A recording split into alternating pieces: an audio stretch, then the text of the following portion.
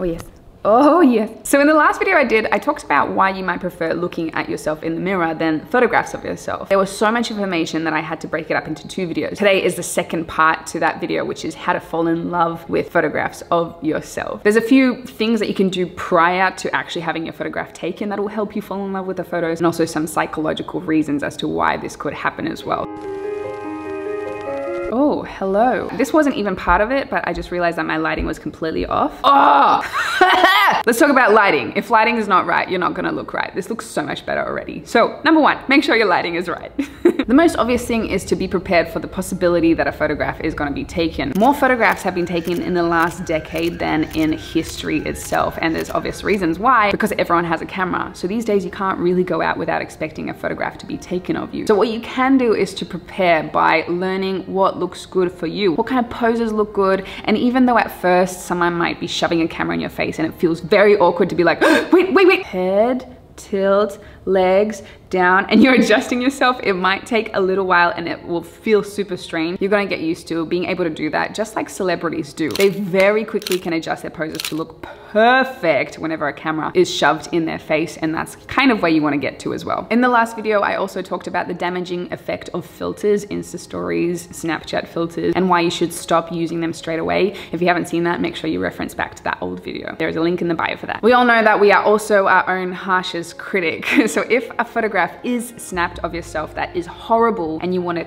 crawl under a bed and die, just know that most people are not judging you as harshly as what you are judging yourself. Because most of us have been in a situation where a photograph has been taken of us where we want to die. so it is not just us and people are much more sympathetic than you give them credit for. If you're beating yourself up because a photo has gone out online, horrible photo of you, don't fret, untag yourself, ask that person to delete it if you can, and if not, it's okay. Most people will just be like, ooh, that was a bad photo of her, and that's it. They're not gonna think long-term badly of you. Of course, then there is also practice. Being able to take a great photograph isn't like something you wake up with and you have the natural skill. Most of us need as much practice and as much help as possible, and if you still don't know about my Advanced Selfie University, make sure you check it out down below. I teach you exactly how to take your own photographs so you finally start feeling good about about yourself without anyone's assistance. So you can do it in the privacy of your own home and start getting used to photographs of yourself and perfecting them. Look at old photographs of yourself. I remember a conversation with my mum that I had and she told me that when she was younger, she really believed she was so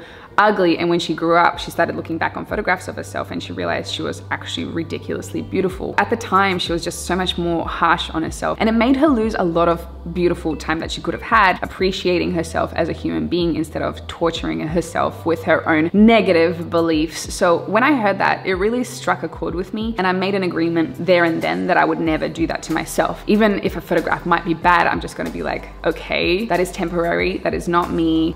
It just happened and I'm always trying to improve the filter that I see of myself. Not in a cocky way, but I just want to appreciate the person that I am and I highly encourage you to do it as well because we live in a harsh world anyway. Why add baggage for ourselves and make us feel bad about ourselves? And that's done through being much kinder to yourself and also learning how to take really great photos of yourself, which will help immensely. It definitely helped my self-esteem a lot. Personality. This is probably the most obvious.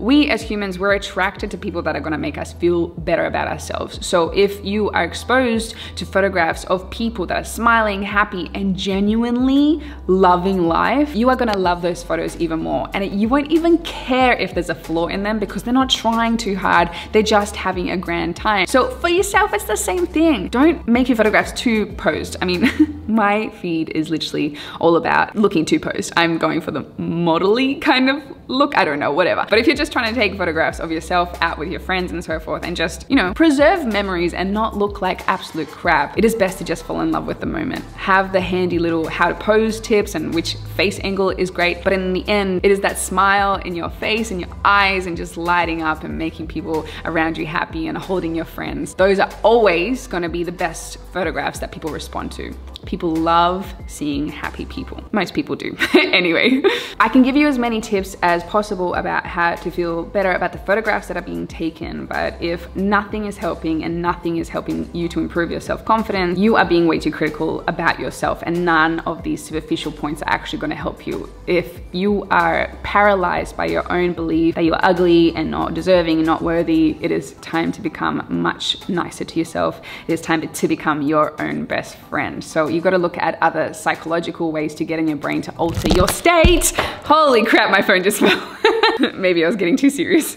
but we are living one life. There is nothing harder than going through life already and hating yourself on top of that is just freaking horrible. So you need to fall in love with yourself. We are all beautiful in our own way. If we all looked like each other, shit was gonna get too boring. And I mean, Instagram already is filled with people that look exactly the same. Like you cannot tell the difference between them. And it's boring. If you can embrace your photograph with your own beauty and celebrate your beauty, that is the most important thing. And here are a few examples that just embrace what they have and god damn, you're attracted to their profiles because they have so much confidence. And that's what I hope for you on your journey as well. I hope you enjoyed this video. If you did, please make sure you like, subscribe, and hit the bell to be notified. I've never said that before. Here's my Instagram and Twitter if you would like to see more. And until next time, guys.